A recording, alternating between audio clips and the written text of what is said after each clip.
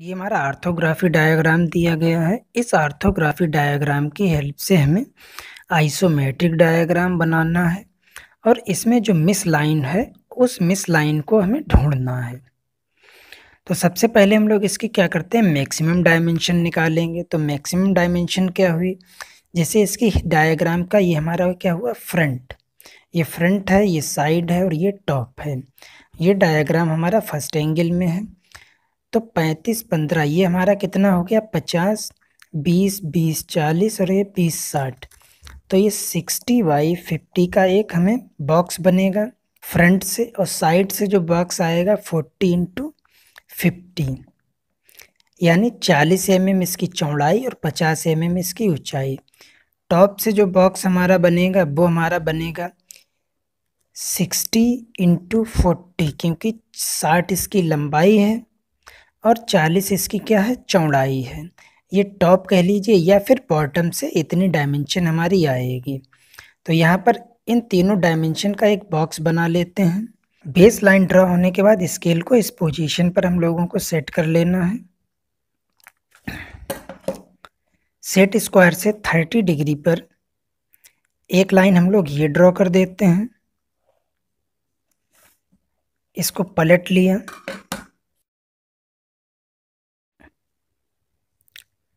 और एक लाइन ये हम लोगों ने ड्रा कर दी।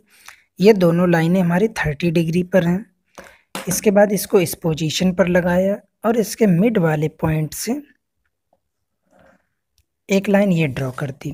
तो तीन लाइनें हम लोग ड्रा कर चुके हैं। लेंथ इसकी हमारी है सिक्सटी एम एम तो यहाँ पर हम लोग सिक्सटी एम एम का मेज़रमेंट ले लेते हैं। ये हमारा सिक्सटी एम एम हो गया। उसके बाद ये हमारा है फोर्टी एम एम। तो ये फोर्टी एम एम इसकी चौड़ाई हम लोगों ने ले ली। फोर्टी के बाद इसकी जो हाइट है वो है फिफ्टी एम एम। तो फिफ्टी एम एम हम लोग हाइट ले लेते हैं। ये फिफ्टी एम एम। स्केल को फिर से बेस लाइन पर सेट कर लिया। इस पहले वाले पॉइंट से एक परपेंडिकुलर लाइन ड्रॉ कर दी।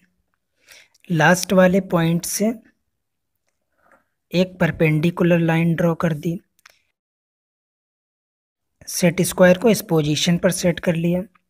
और इस पहले वाले पॉइंट से ये जो हमारा पॉइंट लगा ये वर्टिकल पे इससे एक लाइन ड्रॉ कर ली। इसको पलट के इस पोजीशन पर लगाया। इसी मिड पॉइंट से एक लाइन हम लोगों ने यहाँ ड्रॉ कर ली।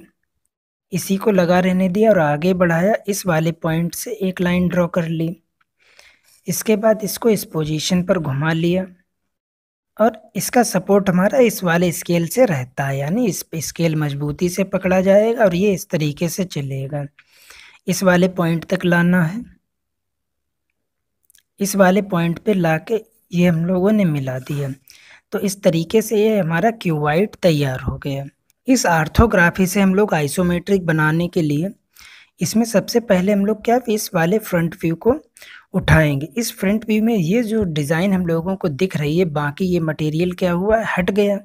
तो ये डिज़ाइन सबसे पहले यहाँ पर हम लोग ड्रा करेंगे। इसकी डायमेंशन ये दी गई है यानी बीस और ये दी गई है पंद्रह। यानी इधर से बीस एम एम और नीचे से पंद्रह एम एम लेके बाकी एक्स्ट्रा मटेरियल को हटा देना है। तो हम लोग यहाँ डायमेंशन ले लेते हैं। ये माप हमारी बीस एम एम हो गई। और नीचे से माप यहाँ हमारी दी गई है पंद्रह। तो ये हम लोग पंद्रह यहाँ ले लेते हैं। ये हो गई पंद्रह। तो इन दोनों पॉइंटों से हम लोग जो एक्स्ट्रा मटेरियल होगा वो हटाएँगे। स्केल को बेस लाइन पर सेट कर लेते हैं। इस नीचे वाले पॉइंट से एक लाइन हम लोग ये ड्रॉ करते हैं। इस वर्टिकल वाले पॉइंट से इसको नीचे लाते हैं।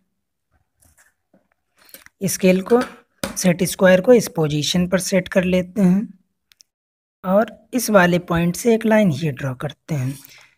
तो सामने से देखने पर ये डायाग्राम हमारा इस शेप में आ गया कुछ कुछ। तो बाकी तो बीच में कोई मटेरियल है नहीं तो उस वाले मटेरियल को हटा देते हैं।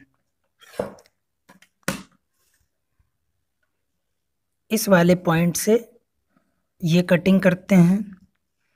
इस बीच वाले पॉइंट से भी हम लोगों को कटिंग करनी है। इससे एक लाइन खींच ली। ये लाइनें अभी कोई माप की नहीं है, कम ज़्यादा भी हो सकती हैं। ऊपर वाले पॉइंट से एक लाइन हमारी नीचे ड्रॉ होगी। जो ये लाइन हम लोगों ने खींची थी, इस लाइन को हमारा ये यहाँ पर कट किया। तो ये पॉइंट और ये पॉइंट मैच होंगे। तो इन दोनों पॉइंटों को हमने मैच करा दिया। अब ये डायग्राम हमें किस तरीके का दिख रहा है? इस तरीके से फ्रंट में आने पर दिखना चाहिए। तो एक्स्ट्रा लाइनों को हटा देते हैं। तो ये डायग्राम हमें यहाँ साफ़ साफ़ दिखाई दे रहा है कि ये कुर्सी टाइप का हो गया है। अब इसी इतने ही डायग्राम में हमें ये डिज़ाइन लेनी है। अब हम लोग इसको साइड व्यू को भी पकड़ सकते हैं और टॉप व्यू को भी पकड़ सकते हैं। अगर हम लोग टॉप व्यू को पकड़ेंगे तो टॉप से देखने पर ये पट्टी दिखाई दे रही है। ये जो पट्टी, ये वाली पट्टी हो गई, ठीक है, ये हमारा यहाँ तक।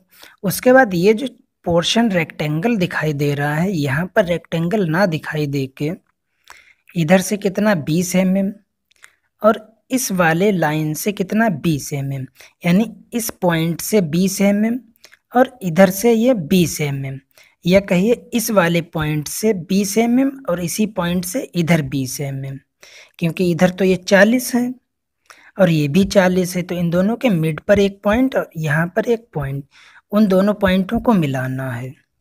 तो हम लोग यहाँ बीस एम एम की डायमेंशन ले ले लेते हैं इसमें। ये हमारा हो गया बीस एम एम तो इस वाले पॉइंट से हम लोग बीस एम एम लगा लेते हैं और इसी पॉइंट से एक बीस एम एम का ये निशान लगाया। ठीक इसी तरीके से नीचे भी हम लोग बीस एम एम और यहाँ बीस एम एम। एक क्लियर हो गया कि ये पॉइंट हमारा इससे मैच होगा तो इस पॉइंट को हम लोग मैच कर देते हैं। ये पॉइंट मैच हो जाएगा। नीचे भी ये पॉइंट मैच हो जाएगा। ये दोनों पॉइंट आपस में मैच हो जाएँगे। ये भी मैच होंगे। तो ये ये वाली कटिंग हमारी आ गई। तो ये जो पोर्शन इतना दिख रहा है, यही वाला हमारा ये पोर्शन है। उसके बाद बाकी इसमें हमें क्या दिखेगा? अब हम लोग इसको क्या करते हैं? साइड व्यू पकड़ते हैं। तो साइड से देखने पर एक पट्टी ये दिख रही है। तो ये पोर्शन दिख रहा होगा और ये दिख रहा होगा। तो इसको हम लोग पहले डार्क कर लेते हैं।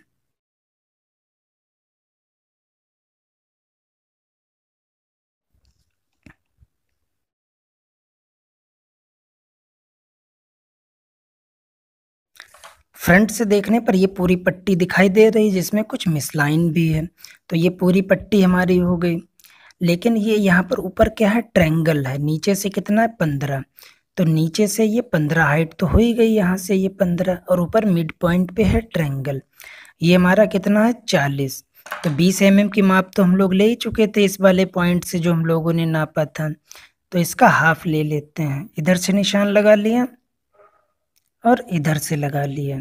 तो ये दोनों एक ही पे आ रहे हैं तो यानी ये हमारा बिल्कुल राइट है। तो इस वाले पॉइंट से हम लोग इस वाले पॉइंट को मिला देते हैं। इस वाले पॉइंट से इस पॉइंट को मिला देंगे। ये वाली लाइन भी हम लोग मिलाएँगे। इस लाइन को डार्क कर लेते हैं। अब इतना हमारा पोर्शन ये हो गया, जबकि इसी के पैरेलल एक लाइन और हमारी यहाँ मिलेगी। तो उसको पॉइंट को ढूँढने के लिए हम लोग क्या करते हैं? या तो डायमेंशन ले सकते हैं, या स्केल को बेस लाइन पर सेट कर लिया। और यही जो पॉइंट हमारा है, ये पॉइंट हमारा कहाँ जाएगा? ये हमारा यहाँ पर आ जाएगा। तो ये तो यहाँ से यहाँ तक ये डार्क हो जाएगा हमारा। जिस तरीके से ये पॉइंट हमारा यहाँ मैच हुआ और इसके पीछे वाला पॉइंट यहाँ पर मैच होगा। तो ये पीछे वाला पॉइंट हम लोगों ने यहाँ मैच करा दिया।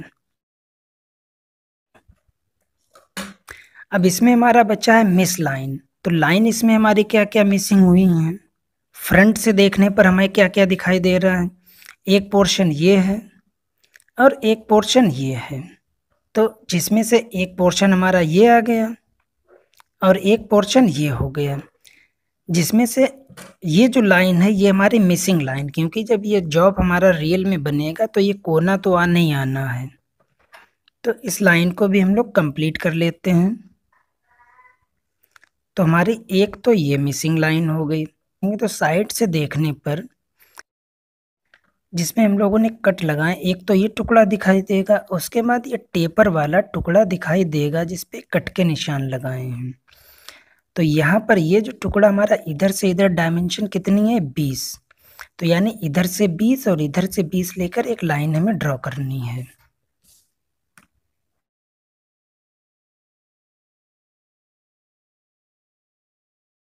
साइड से देखने पर साइड में हमारी एक मिसिंग लाइन ये आई। है जब हम लोग इसको टॉप से देखेंगे, टॉप से देखने पर ये पोर्शन हमें दिखाई देगा, जो कि यहाँ पर दिखाई दे रहा है।